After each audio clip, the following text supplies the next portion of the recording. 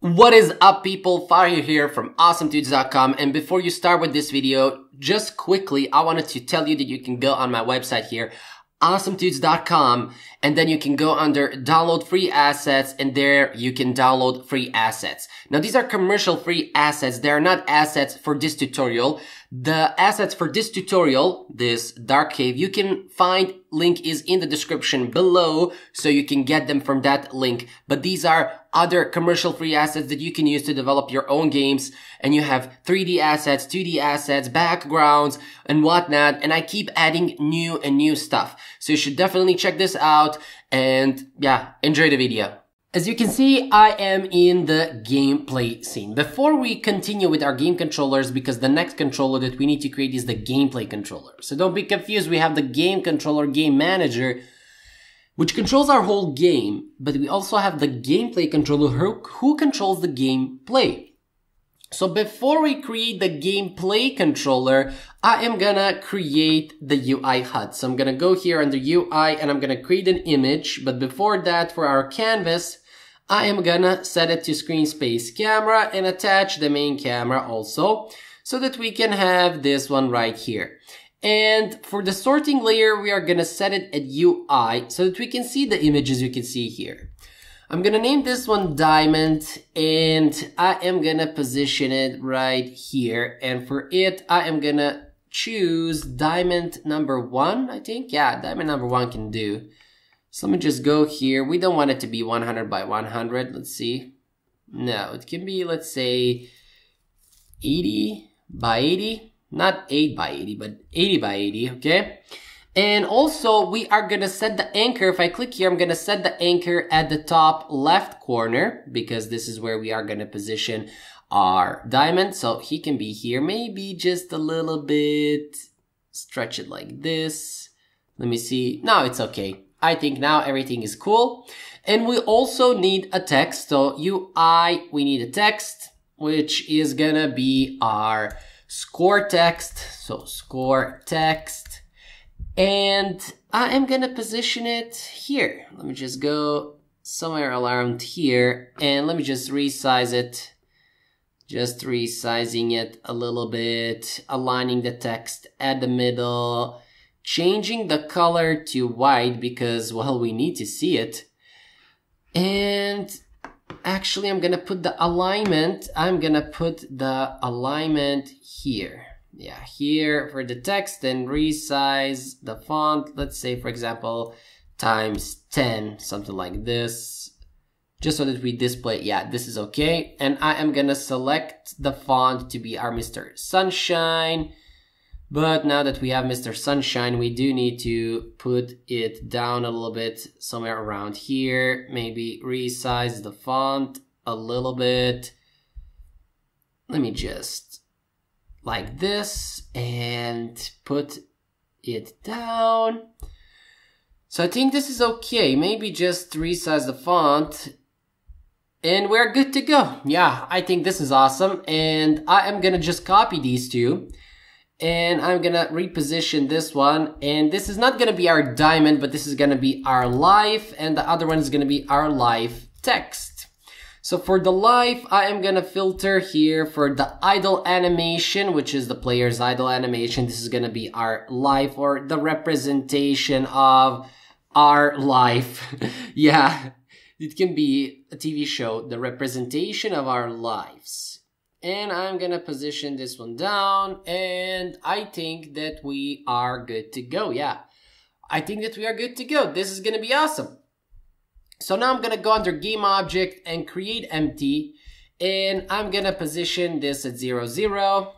And this is gonna be our gameplay controller. So gameplay controller. And for our gameplay controller, we are gonna also create a script. So I'm gonna go here under scripts controllers, right click, and I'm gonna create a new C sharp script called gameplay controller. So controller, gameplay controller, put it on the gameplay controller, and now we are gonna code. So here I'm gonna say class and give a little bit of space just so that we can see what we are actually typing. And now we need a couple of variables. First, we are gonna make this an instance. So public static gameplay controller and it's gonna be an instance. So instance like this, and instead of the update, I'm gonna create here private void make instance.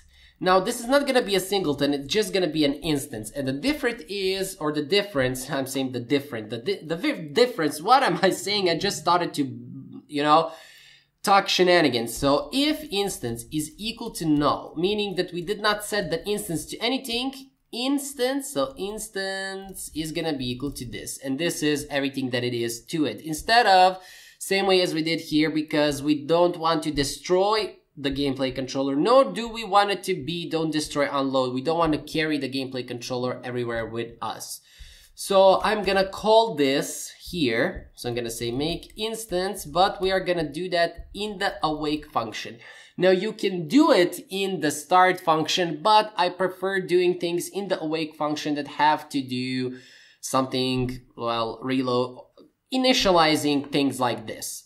Also, what I want to do or what we need is we need a reference to all of these texts that we have just created. So we need a reference to all of the texts that we created. And let me just find the text. So we need a reference to the score text and the reference to the live text also. So in order to do that, because they are UI elements, we need to type using Unity Engine dot UI, not IO, UI. So using Unity Engine UI, that is gonna allow us to create here private text, which is gonna be score text, and a private text, which is gonna be live text, like this. And by the way, we also need a private so private int score and private int live score. Inside of the awake function, so inside of our awake function, we need to get a reference to the score text and the live text. So we need to say here score text is equal to game object dot find, and we are gonna get ourselves the score text. So score text like this, and we are going to say dot get component and here we are going to say text. So get us the text component. We are going to do the same thing here with the live text. So just copy and paste it and here I'm going to say live text and here also we are going to say live text. Now we also explain what this here is. We are getting the game object that has the name score text, getting its component text, and that is that. So essentially, we also need to create two more functions. Of course, we are going to tweak our gameplay controller more, but we need to create two more functions, which is going to be, one is going to be public void increment score. And this function is simply going to set the score. So I'm going to say score plus plus to increment it. This means that we are going to add one to the score. So plus plus means add one. And then simply we're going to say score text text is equal to, and here I'm going to say x plus score, which is going to increment, or actually it's going to create the string x and add score to it. We are also going to create a public void decrement life. and here we are going to say life score is equal to minus minus or minus minus simply to decrement the life score. And here we're going to say if life score, so life score, is greater than or equal to zero. So if it's greater than or equal to zero, we are gonna set the live text, that text to be equal to x plus life score.